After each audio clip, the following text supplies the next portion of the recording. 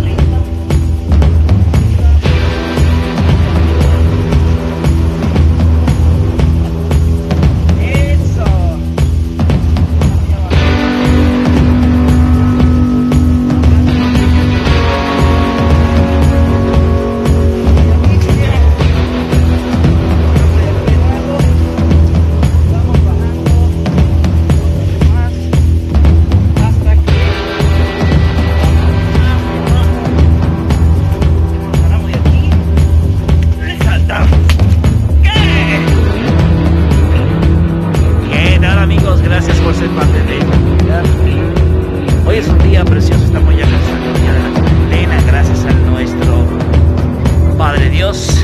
Ya estamos ya saliendo de esto, estamos ya en la fase número 2 casi ya. Y nada chicos, todo bien, gracias a Dios. Estamos vivos, que es lo más importante y con metas y objetivos que cumplir. No te olvides que si quieres vivir más, ser más y disfrutar más tu vida, debes tener una meta, un objetivo, algo que realmente te dé energía, algo que realmente te dé motivación, fuerza,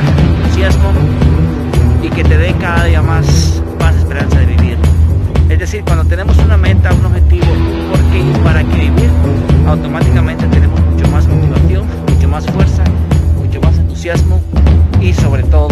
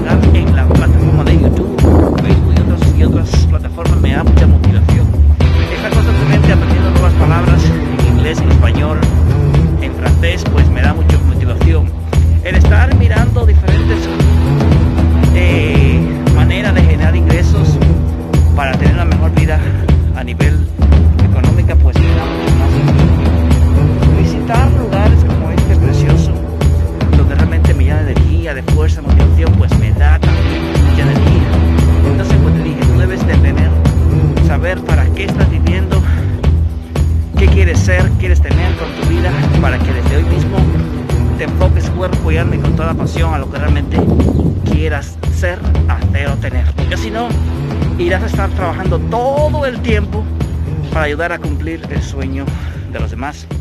Y es un poco penoso haber nacido para no alcanzar algo, para no tener algo, etcétera. Es decir, para no satisfacer nuestros sueños, nuestros deseos, nuestras ambiciones, por lo menos un 30% de ello. No te estoy diciendo de que tú no puedes, de que dejes de ayudar a sino que primeramente ayúdate tú.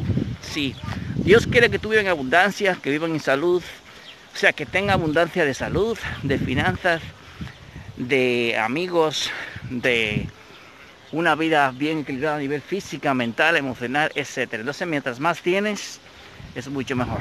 Campeones, que tengas un día fantástico, ya sabéis, levántate todos los días con una meta aquí en las manos, con un objetivo, una lista de objetivos, lo que realmente quieras hacer ese día para que tu vida tenga mucho más sentido y no pasas el día haciendo tonterías, haciendo cosas que quizás no te den sentido, no te den motivación, no te den fuerza, no te den entusiasmo.